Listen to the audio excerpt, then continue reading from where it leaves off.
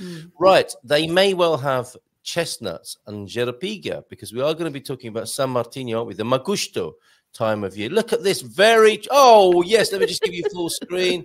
There you go. Jeropiga Yeah. and uh, Castanhas, Castanhas. castanhas e jeropiga. Jeropiga de Penela, in this case, it's jeropiga from Encosta Yes. da Criveira. Oh, Um, excellent. Yes, I've been there. Yeah, yeah, yeah. What an amazing yeah. place. Yes. Jeropiga from Encosta da Criveira. But um, of course, the, the, on the 11th, uh, on Monday, is St. Martin's Day, Dia de São Martinho. Yeah. Um, and so the tradition in Portugal is uh, eating roasted chestnuts. These these are not roasted yet. But by the way, um, I would like to to tell you how to roast Yeah. the chestnuts because when you Yes. buy a chestnut, Personal safety. when you buy a chestnut, you have to give a little bit of a cut here, Yes. right? So Oh, you you've cut them the already. Very thoughtful. Okay. Yes, yes. Uh, so you you you cut them, and then you can put them in a tray, something to go to the oven, and put some salt, just a, a little bit of salt, Salt? on salt. Oh, okay. Yeah, you can put some salt on them, uh, and then put them for a few minutes in the oven. Um, when you take them out of the oven, you better put them. Uh, if you have some clay like this, Yes.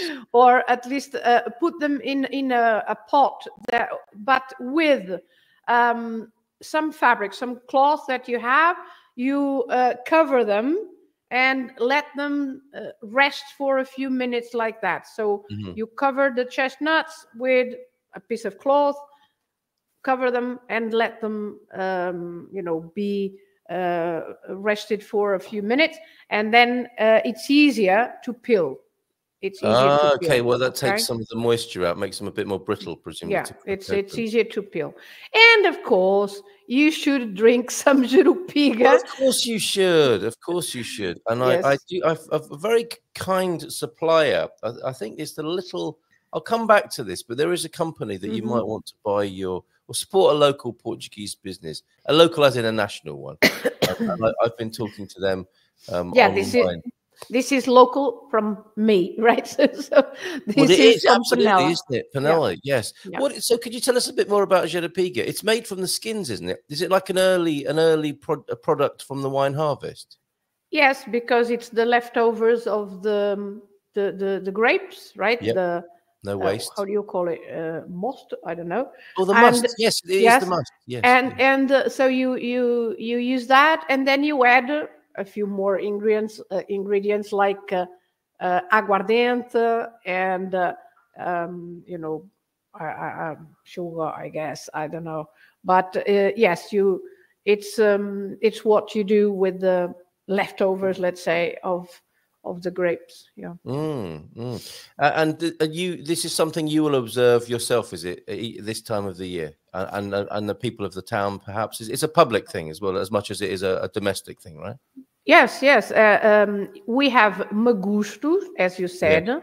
Yes. Uh, magusto is always a, a huge bonfire, um, so outdoors, and people. Um, there are lots of. I'm sure that this weekend, lots and lots of villages and towns and even cities, maybe I don't know, but um, in villages and towns, at least you can find uh, huge bonfires. And it's not to celebrate Guy Fawkes no, in it's not confusion. bonfire night, no, but but it's because of São Martinho. So um, people uh, gather in the main square usually, or you know, a, a public place that is usually meet meetup point, and um, so they they roast the chestnuts um, on the ground, so on on on in the bonfire. And of course, they drink uh, beer and wine and jeropiga. so we have fun and socialize. That that's what we do uh, the most. socialize. Any excuse, and there's nothing wrong with that. Now, this this is the company that I wanted to bring to everybody's attention this morning. This is the Little Cellar Wine Company. They don't have a retail yet, but I believe it's uh, online and mail order. So I'll put the link to that. And they've got a little bit more to say um, about this particular festival. And that's a lovely um, illustration there, isn't it? Mhm, Of the scene, the harvest. They're calling it a harvest celebration in Portugal, traditions, Mhm. food, and Jeropiga. I'm not. su- Is that a, like a traditional and well-known artist? It could even be AI. That couldn't it? It's got a little bit of an AI vibe. Could be. it. I mean, the grapes the grapes are so lined up that I yes, don't they know. they, they should be picked by now. So I think it is an idealistic scene, isn't it, rather than yeah. a, a, a fact-checked one. Um, autumn in Portugal feels like magic. Magic, magusto. The vineyards turn shades of golden red, and the air carries a hint of something special, something that promises warmth and joy for wine lovers and locals alike. This time of year signals the start of the grape harvest. It's it's already been going on, isn't it? It's more than a farming ritual. It's a celebration of culture, community, and tradition that's woven into the fabric of Portuguese life. And at the heart of it all, you'll often find a glass of Jeropiga. In the rolling hills of the Douro, Alentejo and beyond, friends and families gather to celebrate the year's bounty. So there you go. Yeah. Very important, uh, the grape harvest, the Vindima, and and to celebrate. I, I guess it's a it, it's a it's a time to give thanks, isn't it? Uh, should there have been a, a, a bountiful harvest, and pray if there hasn't been uh, for for better times next year. And you know, I guess as we've become more industrialized and moved away from the countryside, it's really important that we keep that connection to what used to be in this way. I think, and to nature, and how how dependent we still are, even if we don't think we are. um, Oh, yes. on, the Of, on the of course, we are. Yeah, yeah. Yeah. Um, yep, olive trees with grapes on, nearly as important. oh, okay, yeah, all right. Fair enough. An idealized uh, portrait of Portuguese life. There. Also, uh, excellent cover- coverage, by the way, from Portugal Decoded. Uh, if I might share that. And we've got some questions coming in for you, Philomena, of course. Good, good. James, top student James, uh, often has a question for you of a, a, a vocabulary or grammatical kind. Um, the, uh, the the Friday briefing um, is asking the question ready for Magusto there. This it's really good. The um, Portugal decoded, and thank you, Catherine, for bringing it to my attention this morning.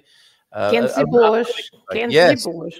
hot and good, right? That's it. That's it. And they look really well done. Don't they? Look like you could just look at Yeah. them and they'd fall Mine, apart. mine are not hot yet, but they will. They will.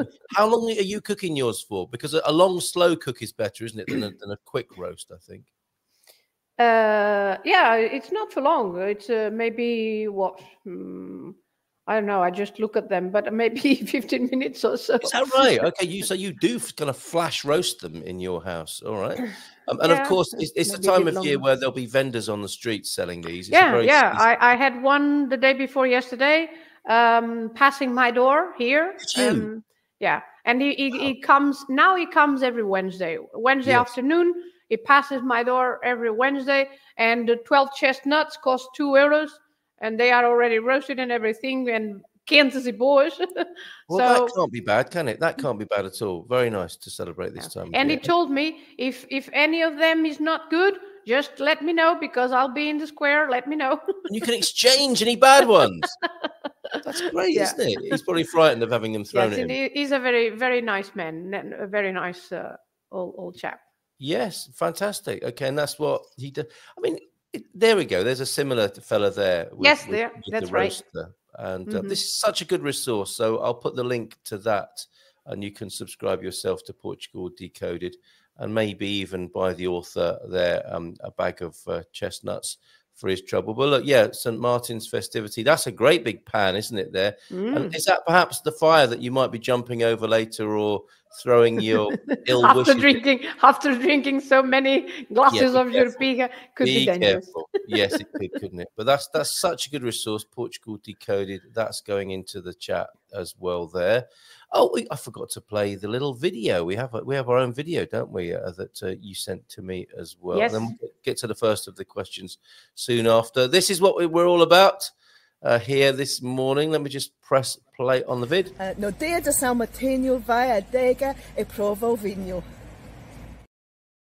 It's the time of San Martino, and to get trying the wine, right? Get to the cellar and try the wine. Yes, so uh, this is uh, uh, my friend Annie, Annie Hamilton Gibney, and um, we recorded this video here in the square last year. Um, and this is the Portuguese saying, Uh, no dia de São Martinho, vai à adega e prova o vinho. So on St. Martin's Day, go to the winery and taste the wine. Very good. One more time then. Uh, no dia de São Martinho vai à adega e prova o vinho. And am I right in thinking that's the sort of confidence people get by learning with you? I mean, she's loving it, loving it, isn't she? Yes, yes, and and she speaks Portuguese uh, quite well now. Yeah. Very good, very good. Okay, so any questions you've got about uh, Magusto, about this time, this San Martino time of year, where of course the and same... the legend, the legend of San Martino. I can read it for you Oh, in please. Portuguese, Yes, I'd I'd love- and yes, and it's a Portuguese lesson. Yes, because it is a, it is a really good um, parable, isn't it? The, the whole point of San Martino. Let's not forget that, and the charity of Sa- Yes. Saint Martin. So please, yes, do go ahead. Ok, so lenda de São Martinho. Segundo reza a lenda, num dia frio e tempestuoso de outono, um soldado romano de nome Martinho percorria o seu caminho montado a cavalo quando deparou com um mendigo cheio de fome e frio. O soldado, conhecido pela sua generosidade, tirou a capa que envergava e com a espada cortou-a ao meio, cobrindo o mendigo com uma das partes. Mais adiante, encontrou outro pobre homem cheio de frio e ofereceu-lhe a outra metade. Sem capa, Martinho continuou a sua viagem ao frio e ao vento, quando de repente e como por milagre, o céu se abriu, afastando a tempestade.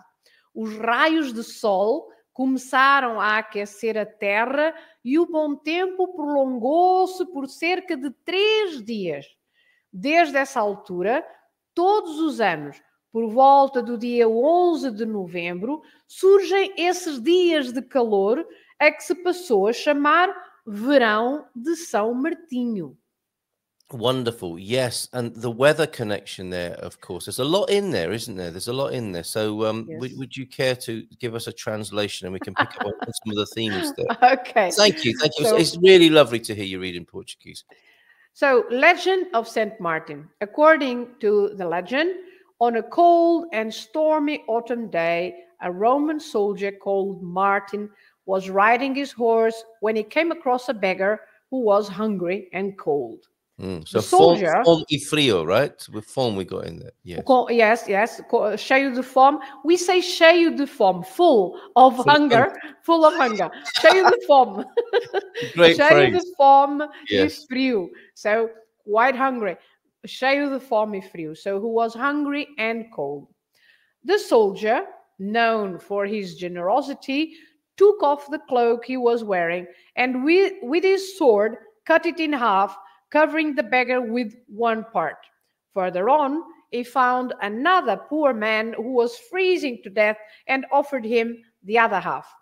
Without a cloak, Martin continued his journey in the cold and wind when suddenly, and as, as if by miracle, the sky opened up, driving away the storm.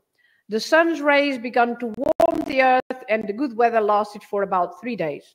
Since then, every year, around November the 11th, those days of warmth appear, which came to be called St. Martin's Summer, Verão de São Martinho. So true. It's actually it actually happened. I met with um, Sarah Davy of Spartan FX for lunch yesterday, and it was the most beautiful day on um, on the beach uh, here at San Martino. It, you know, San Martino de Porto, the the, the town of, Yeah, of the. And it, it's actually happening uh, this year, which is lovely that we have got this late San Martino summer. Um, So, and and it's it's really lovely when that happens, isn't it? That you know, it's the, the, the story comes alive um, in the in the in the in the remembrance and the actual the climate reflected in the climate there.